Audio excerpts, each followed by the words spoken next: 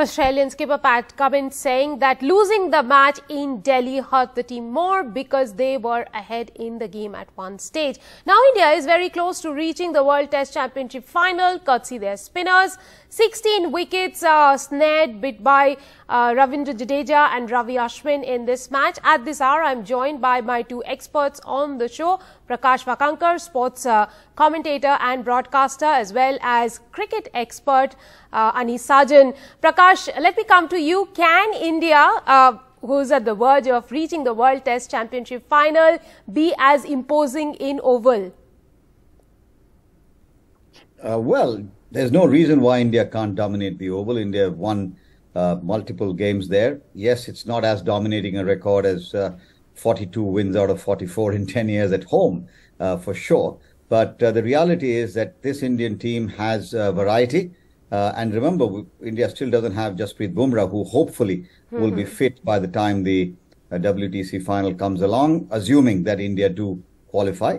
Uh, while it's all looking very rosy at the moment, cricket is an interesting game. And as they say, uh, nothing's done till it's done. But India can certainly win overseas. They've shown it ample times, and therefore they will want to try and get to the final and have a different result from the last time around when they played the final against New Zealand.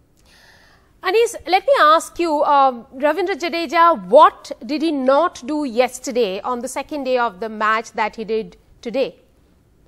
Well, honestly, Rica, he did not bowl well yesterday. And today, if you ask me what he did, it was Ashwin who did all the damage in the earlier part. And uh, sometimes you say, even if you don't bowl well, you still get through it. But he's a type of bowler, you know, who bowls wicket to wicket and you miss and you hit. That's what he was doing. And let's, let's put it in a very uh, nice way for uh, Ravindra Jadeja. You know, Australians were probably feeling there was a lot of dust on the wicket. So they're trying to sweep and clear the dust. And that's caused the downfall for Australians.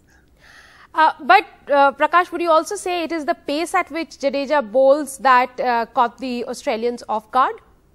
Well, I think with, uh, Jadeja has variations in his pace, like any good bowler will, especially a spinner. But I think the the fact of the matter, Rica, is uh, Australia mentally disintegrated. I think they came out with the idea that they were going to sweep their way out of trouble, as it were.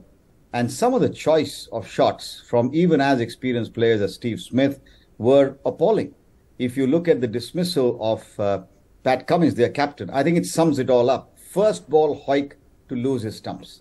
And I think that's the reality of the situation. Australia came with a plan which they built on what Travis Head did so well last evening. But not everyone is Travis Head. Not uh, every day is the same day of the week. And it just came completely unraveled. And that puts them in a very awkward situation, 2 0 down and no real answers to the pair of Ashwin and Jadeja.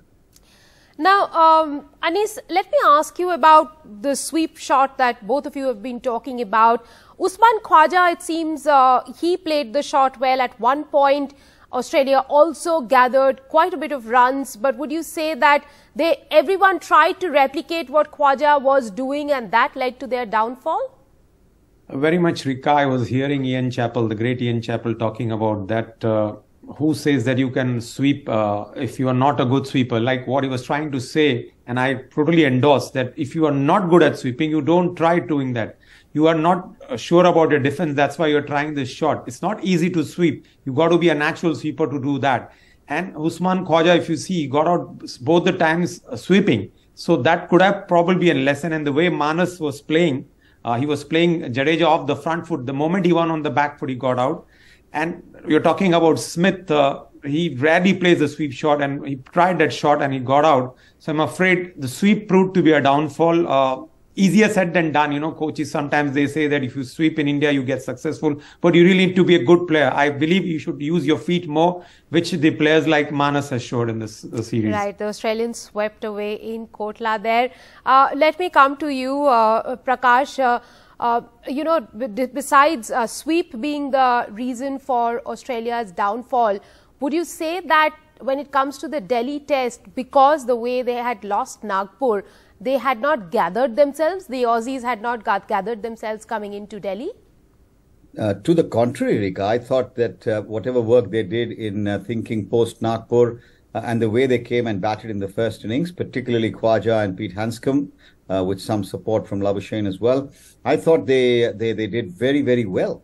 Uh, in the sense to put 263 on the board, to reduce India to seven down for 139. They were ahead of the game, make no mistake about it. Even after the fight back by India and what they did last night, uh, and started the day at 61 for 1, went up to 86 for 2. It looked as if Australia were going to make India really fight. They'll get to 250 maybe, set a target like that, pick up a few wickets. We thought it could be a tight game. And some of us, very frankly, in quiet voices, were even wondering whether we might have a great result for the series, which means Australia win. And then there's everything to play for. But the way Australia's castle crumbled, mm-hmm. uh, is something that they will have to reflect on long and hard. And as I said earlier, the innings by both Handscomb and Khawaja was on a day one pitch. Today was day three. When the ball is right. not bouncing, when mm-hmm. it's generally keeping low, mm-hmm. you do not employ the sweep, sweep, even if you are a very good player of the sweep shot, because it increases the risk. Australia surprisingly didn't think of it, and they paid the price. Six of their wickets fell sweeping in the right. second innings.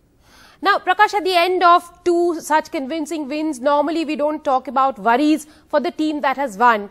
If uh, you were to pin down one of India's big worry, what would that be at this stage? I'll, I have a concern and a solution. Very simple. Play Gill for Rahul. You can't keep that young lad out in the form that he is in. Uh, KL Rahul has had ample opportunities. I've got nothing against the, the player. He's a very good player in white ball cricket. He's had his chances. Yes, he was unfortunate, you could argue, in both innings to be out the way he got out. But uh, you've got to get Gill in. And I think with, with a player like Gill at mm-hmm. the top, you, you're plugging that one little weakness that you have. Other than that, I don't see any challenge at all for Team India going forward at Indore. We'll have to wait and see how long a rope Rahul Dravid is prepared to give KL Rahul. Thank you very much, gentlemen, for joining me.